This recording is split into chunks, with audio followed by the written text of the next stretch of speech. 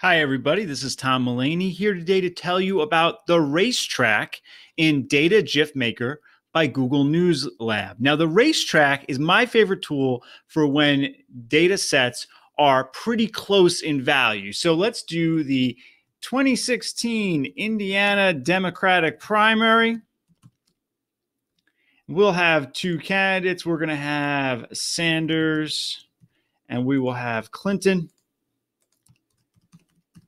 Now, this was a pretty close primary, and let's put that in numbers for now. We can switch that to percentage later. And so this was 335,000 to 303,000. That's really not that far apart. So we'll paste that value in there and paste the second value.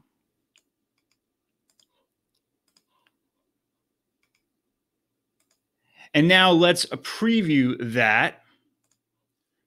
And so there we go. And we have these totals going and they go and go. And then, ooh, Bernie's just a little bit ahead. So you have a little bit of drama in that animated GIF.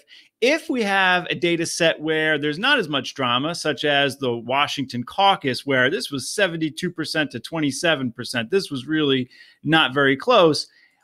In here, I've already done that. And you see this racetrack is so much longer than that one. And if we preview that, just not much drama. All of a sudden, the blue stops and the green keeps going. So, this to me works much better when you have data values that are much closer together. Um, but all, all in all, a really fun way of showing data for sure. If you have any questions about this, please comment below or tweet me at Tom E. Mullaney. Please like, share, and subscribe. Thank you so much for watching.